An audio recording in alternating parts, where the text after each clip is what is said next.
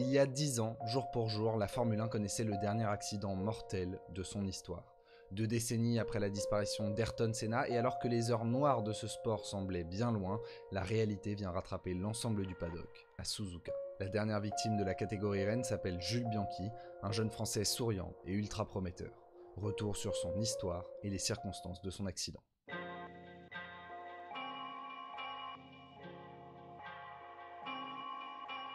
Jules Bianchi naît le 3 août 1989 à Nice dans une famille marquée par le sport automobile.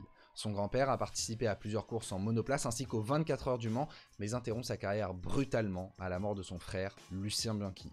Ce dernier, courant sous nationalité belge, avait remporté les 24 heures du Mans en 1968 avant d'y laisser la vie un an plus tard. Jules, lui, monte dans un kart dès ses 3 ans et il devient très vite accro. Son père est propriétaire du circuit de Brignoles dans le Var où il fait ses armes et il décroche son premier titre en 2004, celui de champion de France junior, devenant la même année vice-champion d'Europe. Au milieu des années 2000, il empile les titres dans différentes catégories et est repéré par un certain Nicolas Todd, le fils de Jean Todd, patron de Ferrari puis de la FIA, qui le prend sous son aile et devient son agent. En 2007, Jules Bianchi fait ses débuts en monoplace et il impressionne immédiatement. À l'âge de 18 ans, il devient le plus jeune champion de France en Formule Renault 2 litres, mais également le premier rookie à remporter le titre depuis Alain Prost. L'année suivante, Nicolas Todd le place en F3 Euro Series chez Hard Grand Prix, l'écurie dont il est copropriétaire.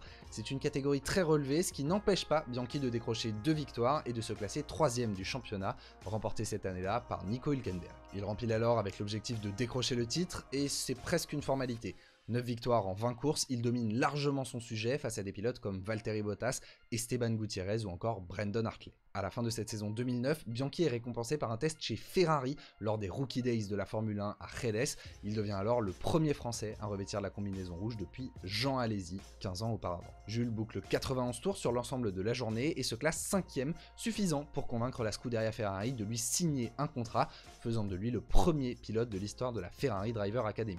En 2010, il fait ses débuts en GP2 et si vous avez une excellente mémoire, vous vous souvenez de cette saison 2010 de GP2 puisqu'elle marque le titre de Pastor Maldonado au terme de 4 saisons dans la catégorie, mais tout de même face à des D'Ambrosio, Perez, Grosjean et donc Bianchi. Jules, lui, est avant tout là pour apprendre, mais sa régularité lui permet de décrocher la troisième place au classement pilote avec 4 podiums, en plus du statut de meilleur rookie. La saison suivante est un petit peu plus compliquée au sens où tout le monde espère qu'il va décrocher le titre et que malgré une première victoire, il se classe de nouveau troisième. Il cherche alors un nouveau tremplin vers la F1 et se tourne vers la Formule Renault 3.5 où on retrouve là aussi pas mal de noms que vous connaissez peut-être, des Kevin Magnussen, Will Stevens ou Alexander Rossi pour ceux qui allaient débarquer en F1, mais aussi pas mal de pilotes de Formule E, Sam Bird, Antonio Félix d'Acosta, Nico Muller ou encore Robin Fries. Ce dernier justement est le principal rival de Bianchi pour le titre. Le Français retrouve de la régularité en 2012 puisqu'il décroche 3 victoires et est en position de se battre pour le championnat lors de la dernière manche à Barcelone. Mais malgré un magnifique dépassement sur le leader du championnat, la saison se finit de façon très sale puisque ce dernier le met dehors 3 virages plus longs. Bianchi termine donc vice-champion, mais c'est en parallèle ouvert les portes de la Formule 1 en devenant troisième pilote chez Force India, et c'est finalement chez Marussia, petite écurie du fond de plateau, qu'il va faire ses débuts en tant que titulaire pour la saison 2013. En 2010, la Formule 1 accueille trois nouvelles écuries, HRT, Caterham et Virgin, qui deviendra rapidement Marussia, et bien qu'elles traînent en fond de peloton, elles permettent de découvrir certains jeunes talents aux côtés des nombreux pilotes payants, à l'image par exemple d'un Daniel Ricciardo. Mais que les pilotes soient de futurs pépites ou de simples financiers, rien n'y fait. Il est absolument impossible de marquer des points avec ces monoplaces, et c'est à celui qui réalisera la meilleure performance une fois dans la saison qui permettra à son écurie de gagner quelques millions en plus et donc de survivre. À ce petit jeu, HRT ne fait pas le poids, trois petites saisons et puis s'en va, tandis que Caterham prend le dessus sur Marussia. Cette dernière est la première écurie russe de l'histoire de la Formule 1, propulsée par un vieux moteur Cosworth, et fait également face à de grosses difficultés financières. En 2013, elle n'a plus le choix, il lui faut se séparer de Timo Glock pour recruter deux pilotes payants, Max Chilton et Luis Razia. Ce dernier, bien qu'inconnu du grand public, vient de terminer deuxième en GP2 au bout de sa quatrième saison. Néanmoins, à deux semaines du début de la saison, les sponsors du pilote brésilien n'ont toujours pas honoré leurs échéances de paiement, si bien que Marussia décide de se séparer brusquement de son pilote. Jules Bianchi, soutenu par Ferrari et impressionnant chez Force India, est alors le candidat idéal. Le Français participe à l'ultime session d'essais hivernaux du côté de Barcelone avant de faire ses débuts en Grand Prix en Australie. Et il impressionne immédiatement. Dans le championnat parallèle qui oppose Caterham à Marussia, il devance largement tous ses rivaux, collant 8 dixièmes à son nouveau coéquipier en qualification. Il inflige de nouveau cet écart au Caterham en Malaisie et en Chine, Sepang restant une course déterminante pour le reste de la saison. La course de Jules est parfaite, il décroche une magnifique 13e place, pour une Marussia c'est vraiment énorme, et ça ne sera jamais battu par l'un de ses rivaux. Même si Caterham prend le dessus au fil de la saison, Charles Pic et Guido van der Garde ne peuvent faire mieux que 14e. Bianchi a évité à son écurie la dernière place du championnat. En interne, la bataille a tourné court. Hors abandon, Bianchi n'est devancé que deux fois en qualification et en course par Chilton. Le Français est également élu meilleur rookie de la saison. À l'issue d'une année 2013 réussie, où il a montré à la fois son talent, mais aussi son application et son envie d'apprendre, le Français est reconduit chez Marussia pour la saison 2014. La nouvelle réglementation apportant son lot d'incertitudes, il y a un petit peu de mieux pour les Curios. Ils sont toujours loin derrière, mais avec des circonstances de course et leur nouveau moteur Ferrari, ils peuvent désormais devancer une ou deux voitures. Pour ce genre de petite équipe, vous l'avez compris, l'ensemble d'une saison est bâti sur leur capacité à saisir les opportunités, à réaliser une bonne performance qui vaut littéralement des millions. Et en 2014, c'est à Monaco que cette opportunité se présente et que Jules Bianchi signe la plus belle course de sa carrière. Difficile à croire quand on sait qu'il se qualifie seulement 19ème et qu'il écope de 5 places de pénalité pour changement de boîte de vitesse sur un circuit où il est pratiquement impossible de dépasser. Et comme si ce n'était pas suffisant, il écope aussi d'une autre pénalité pour s'être mal positionné sur son emplacement de départ. Mais dès le premier tour, Bianchi bénéficie d'un très bon départ et du cafouillage de Monaco pour gagner 5 positions. Le voilà 16ème. Ensuite, sa première partie de course est anonyme puisqu'il reste bloqué derrière la Caterham de Kobayashi, impossible de trouver l'ouverture, et les choses ne s'arrangent pas lorsqu'il écope de nouveau de 5 secondes pour avoir effectué sa première pénalité sous régime de safety car. Mais la course du français bascule au 35e tour. Alors 14ème, au gré des incidents de course, il décide de se jeter sur la Caterham à la rascasse. Agressif, musclé mais magnifique, ce dépassement restera le plus beau de sa carrière. Grâce à la pénalité de Vergne, il remonte 12ème mais n'a pas le droit à l'erreur. Son compatriote et ami se fait extrêmement pressant dans ses rétroviseurs. Il reste alors près de 40 tours de course au cours desquels le français ne commet pas la moindre erreur. C'est son jour. Une succession d'incidents lui permettent de remonter à la 8ème place et malgré sa pénalité à l'arrivée, il inscrit les deux premiers points de l'histoire de Marussia. C'est un résultat historique pour cette écurie qui restera à jamais la seule parmi HRT et Caterham à avoir intégré le top 10 grâce à Bianchi. L'ensemble du paddock salue la performance du français dont la cote monte en flèche. Juste avant le Grand Prix du Japon, il signe un contrat avec Sauber en vue de la saison 2015, une étape de plus avant de rejoindre un jour la Scuderia Ferrari. L'écurie italienne lui renouvelle sa confiance pendant l'été puisqu'il prend le volant en essai à Silverstone. Revêtir un jour la combinaison rouge en tant que titulaire lui semble promis. Mais dans le sport de haut niveau, et tout particulièrement en Formule 1, tout va trop vite. Le circuit de Suzuka accueille la 15e manche du championnat du monde de Formule 1 2014. En qualification, Jules Bianchi devance une nouvelle fois son coéquipier et s'intercale entre les catéras. Mais le dimanche, le typhon Neneng approche le Japon, les conditions sont dantesques, et malgré cela, le compétiteur Bianchi est prêt à prendre le départ. Jules, comment sont les conditions de piste? Sèche. Non, mais est-ce que ça peut rouler?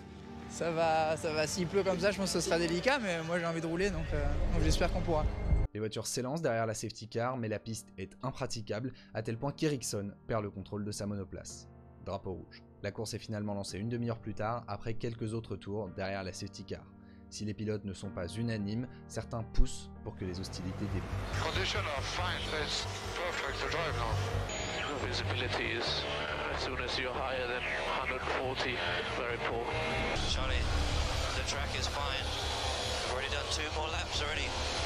Conditions are fine. It's perfect to drive now. Visibility is, as soon as you're higher than 140, very poor. Charlie, the track is fine. I've already done two more laps already. And the track is good. Et alors que la nuit approche, les officiels veulent s'assurer que le Grand Prix du Japon ait bien lieu.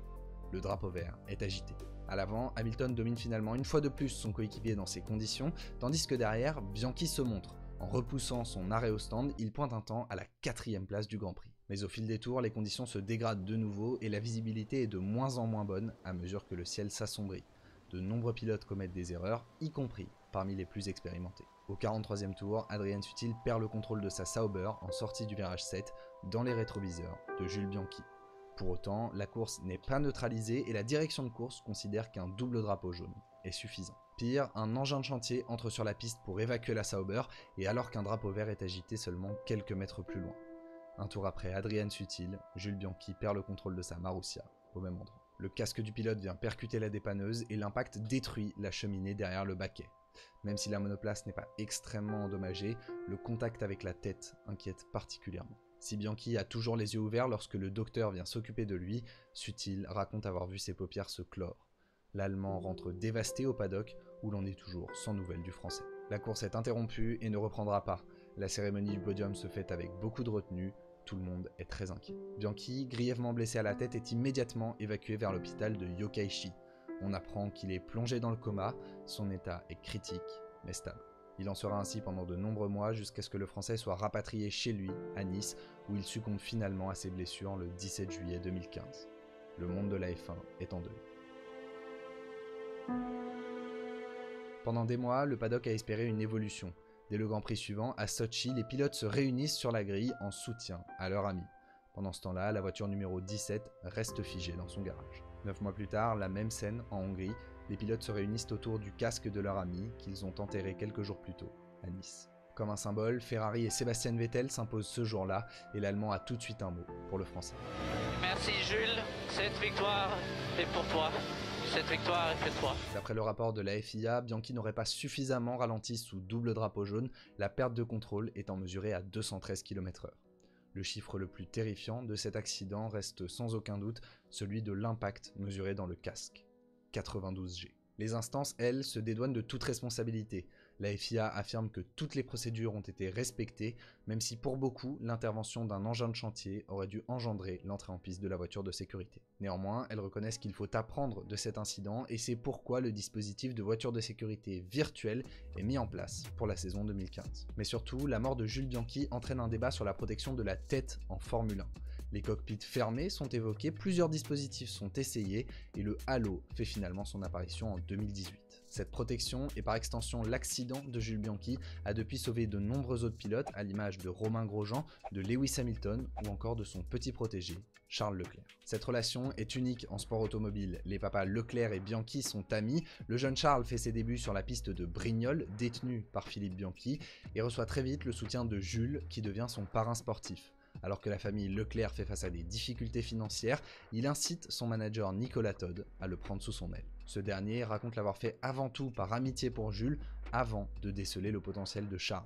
Depuis, Leclerc a marché dans les pas de son mentor, rejoignant la Ferrari Driver Academy en 2016 et puis faisant ses débuts en F1 en 2018 chez Sauber, l'écurie que Jules aurait dû rejoindre. Mais surtout, un an plus tard, Leclerc accomplit ce rêve qu'il partageait en devenant pilote titulaire pour la Scuderia Ferrari.